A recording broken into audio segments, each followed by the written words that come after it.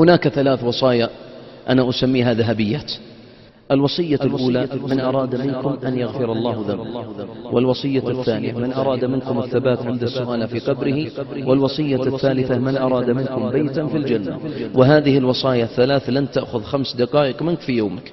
أما من أراد أن يغفر الله ذنبه. روى مسلم في صحيحه قال صلى الله عليه وسلم من قال في يوم سبحان الله وبحمده مئة مرة حطت خطاياه وإن كانت مثل زبد البحر لن تأخذ دقيقة ونصف وأنت الحكم. الوصية الثانية من أراد الثبات عند السؤال في قبره عند أبي داود وصححه قال صلى الله عليه وسلم. إن في القرآن ثلاثون آية. شفعت لصاحبها حتى غفر الله له. تبارك الذي بيده الملك. قال ابن عباس من قرأ سورة الملك في يوم وقاه الله فتنة القبر. اللهم قنا يا رب العالمين فتنة القبر. والله يا إخوة أن قراءتها قراءة حدر لن تأخذ دقيقتين ونصف. اللهم إنا نسألكم فضلك. الوصية الثالثة من أراد منكم بيتا في الجنة. روى الإمام أحمد في مسنده والحديث صحيح.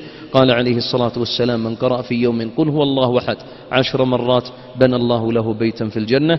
اللهم افتح علينا فتحا من عندك يا رب العالمين.